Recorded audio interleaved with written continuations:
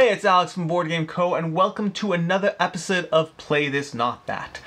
In Play This Not That, we take two board games with some degree of similarity, some degree of overlap, some degree as to why you might pick one over the other, and then shockingly enough, I compare them. I give you my opinion, my quick overview of the two games, and I tell you which one I think is a better game, which one I think is the preferred game, the one you should have in your collection. It does not mean that the loser is a bad game, not by any means. Sometimes I get rid of the other one. Many times I keep both. Sometimes it's just a question of, I like to go into things. I like to explore the pros and cons. Honestly, I just like talking about board games. If you subscribe to this channel for any reason, if you're new here, if you're a regular, I just like talking about board games. That's all I'm trying to do. And in this case, in this episode, we are comparing code names to monikers. Monikers and code names are two party games, and this one's suggested by Billy Indiana, if I recall correctly. Suggested this in the comments down below, doing a play this, not that. And so let's go into them. Let's cover one of them at a time, starting with code names. Now, the the target for this particular video, the discussion I'm trying to have, is specifically about party games that are the best possible gateway party games you can possibly have. Meaning, ultimately we all like board games, or at least if you're here, you probably like board games. Alternatively, you just went to someone's house who introduced you to code names or monikers. You went to YouTube, Googled this, and found this channel. Hi, it's nice to have you here. But party games are a fascinating conversation and some gamers look at them with a look at look on at them with a degree of dismissiveness of well they're not that great they're not that exciting.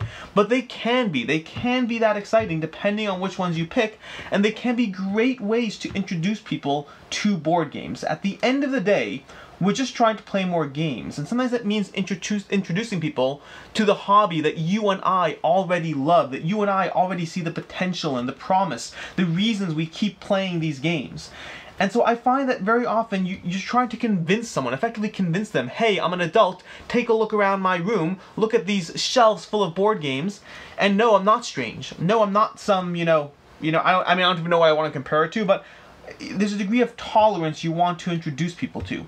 And sometimes all you really need to do to get that message across is show them something you love. Introduce them to something that you love in a way that they will love it too. Now I'm very wary of pushing my hobby on people. Very wary of it. Hey, you, we all have that one friend who likes hiking. That one friend who, no matter how many times you try to tell them not to, always wants to go on a hike with you. They always want to introduce their hobby to you and sometimes drag it, drag the worst out of it. And I, I don't want my board games, my hobby to be like that, not in the slightest. I want I want to share it with people, but I want to share the love of board games, and, and that means picking the right board game for the right person, and that's very often a challenge. But two games that have without fail, completely without fail, impressed people when I've introduced them to, whether it's someone who completely, you know, non-gamer, no, no whatever, versus someone who on the heavier end who I actually think might be a great fit for Gloomhaven, but regardless of what what where they are in the spectrum, the two games that I have had, I want to say 100% success rate with, I'd have to think through if there are any exceptions, but I want to say 100% success rate are code names and monikers. Codenames and Monikers are both party games. They are both, one's designed by Vlaada Chvátil and one is a reprint of a of a open, I can't remember the word, but a an existing game that's a open uh, open domain, I think something domain, but public domain, public domain game monikers, and they are both incredibly fun. Incredibly fun in very different ways. In Codenames, what you effectively do is you lay out five cards, you lay out five by five, and each card has words in it from force, track, spike, rabbit, scale. And then from there you have these code cards, and these code cards will effectively tell people what they what cards they want to give. So for example, if I pull out one of these code cards, it'll have a grid showing you which cards belong to which people. And we take that code card and we set it up in the handy dandy little stand over here and you put it in front of the code code givers so that they can see the the the cards and the codes that they need to get their teammates to guess.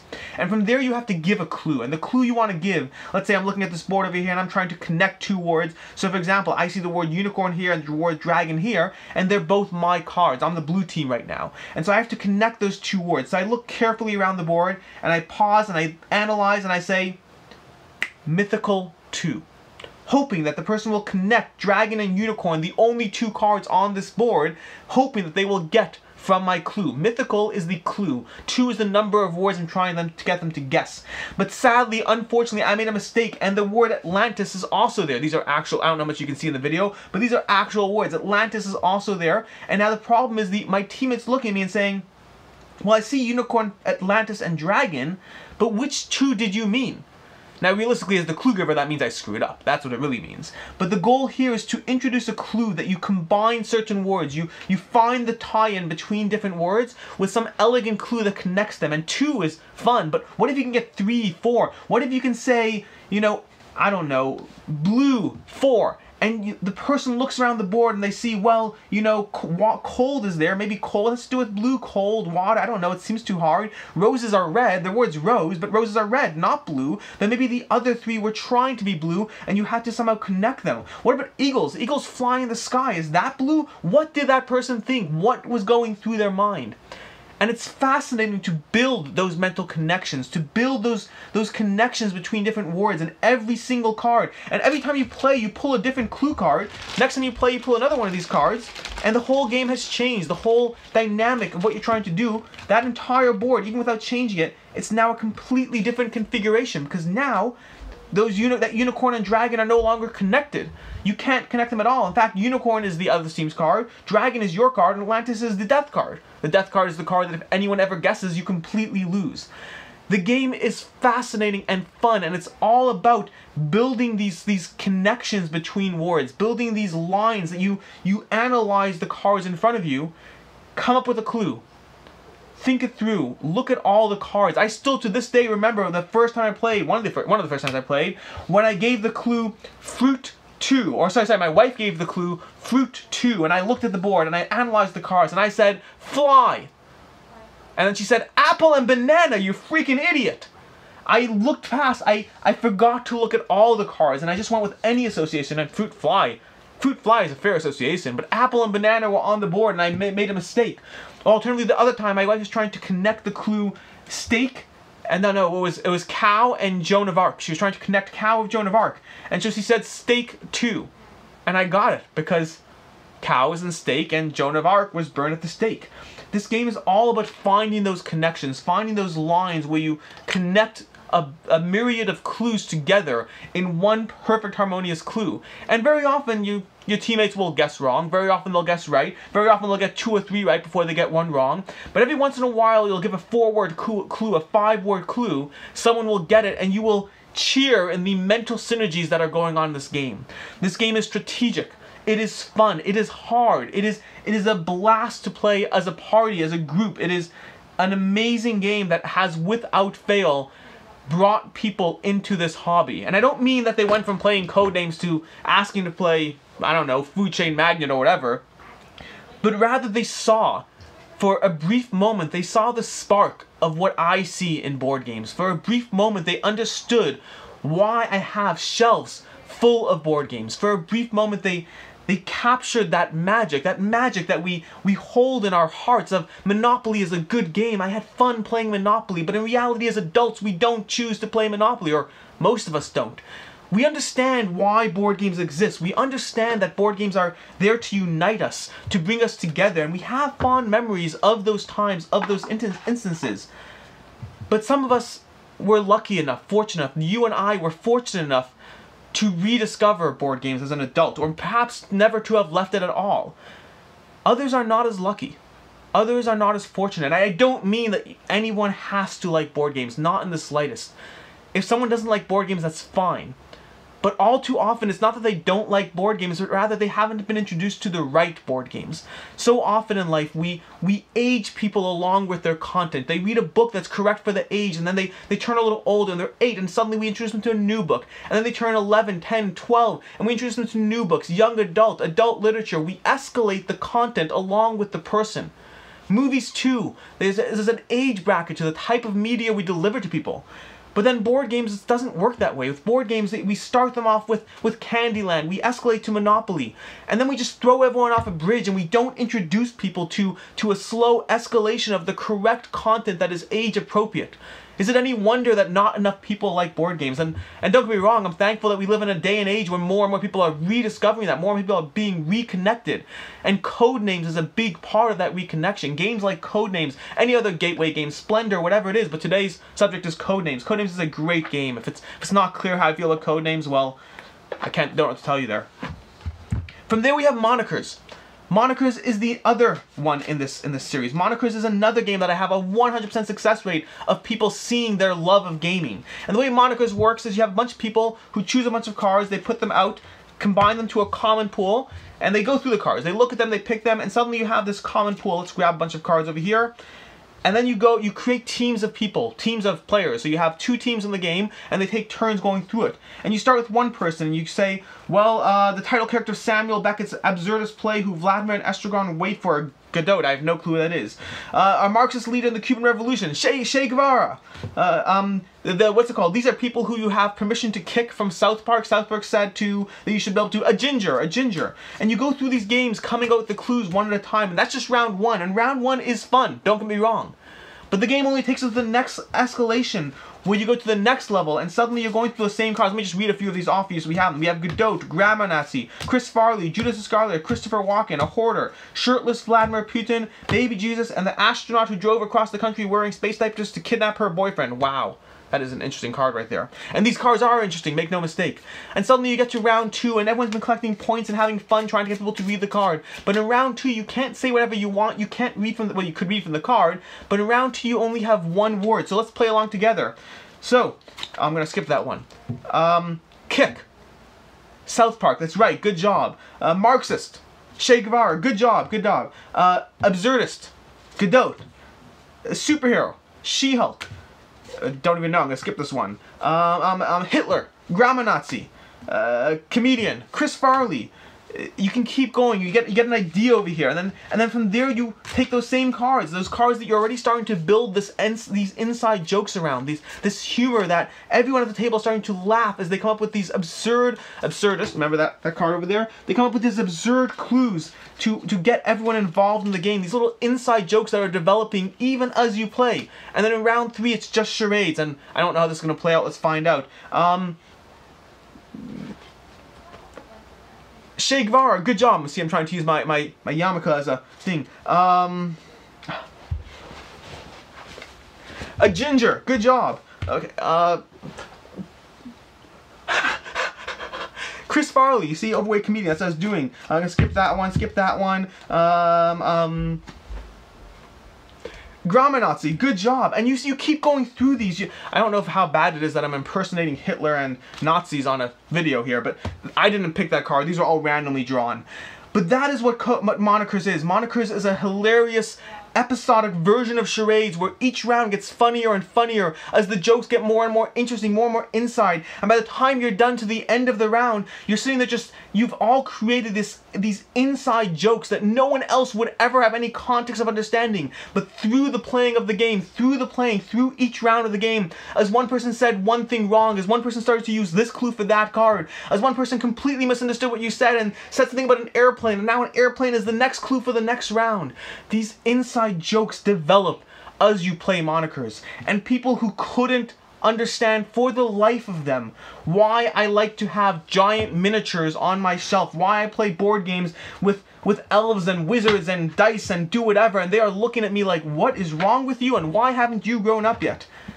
But they are starting to see that magic. They are starting to be pulled into a world of imagination, a world of silliness, a world of ridiculousness in terms of just by being involved in this game. And I know that was a lot to take in. A bit of monikers, a bit of code names, no real precise rules of both, but hopefully a general feeling of what these two entail. And for today's Play This Not That, there is no clear winner. It depends on how you define the terms. It depends on how you define what constitutes a win in these two games. If a win is bringing people into the hobby, Monikers takes the cake slightly marginally, marginally, because you see Codenames, for all the amazing content it delivers, for all the amazing experiences it has, ultimately I find Codenames is a little bit lacking because it's a little bit too analytical. You can have clue givers sitting there analyzing the board in front of them, trying to figure out a way to combine the words bill, band, and bomb. And and you're not actually, by the way, good note here, you're not actually allowed to use things that are letters. You can't say like B, hoping to that gets them to understand that they're all B's, which was just an interesting tidbit there. But Codenames ends up being a drop too analytical. People sit there and puzzle through bomb, bill, band, uh, a bomb and a band, uh, a bill. They, they get stuck in these combinations and it takes a little bit of the hilariousness outside of the game. And so in terms of a purer, better experience to introduce people to something that is hilarious and, and appealing and something that they probably haven't heard of until they sat down at your table, Monikers is a slightly better game. But if we're evaluating this on which is the better game, then I think Codenames would win that. Upside down. I think Codenames is the better game. Codenames is a more elegant system. For the same reason I think it is slightly, marginally inferior as a gateway game, I think it is also that same reason that makes it a better mechanical game. Monikers relies more on the hilariousness and the fun, which is not a problem, don't get me wrong at all, there's nothing wrong with that. But when I look, when I'm trying to admire the two systems and see which one is something that I want to play a bit more, which one's more of a challenge for me, because I like a challenge. I like decisions in games. I like the process of, of being faced with something that I need to overcome, whether it's how to navigate that elf and wizard around the board to defeat the dragon, versus whether it's how to combine two cards in codenames. I like a challenge, and I find codenames is slightly more analytical and slightly more decision based, and I think it is a better game. But if you are trying to bring people into the hobby, I think Monikers are slightly better. That being said, they're both great, and I would give an additional piece of advice, which is, I would say Codenames is better if you have a group of four or or even six players. It does work with five, but I find Teams is better.